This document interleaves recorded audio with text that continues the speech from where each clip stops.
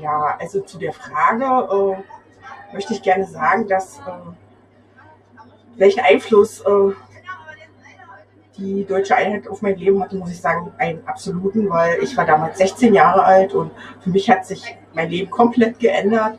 Ich habe wer angefangen eigentlich noch äh, mit dem Beruf eines Bürokaufmanns und habe im Endeffekt meinen Abschluss im Betriebswirt nachher gemacht. Also es hat selbst während meines Studiums sich, äh, sage ich mal, alles verändert und äh, eigentlich nur zum Guten im Großen und Ganzen, muss ich sagen.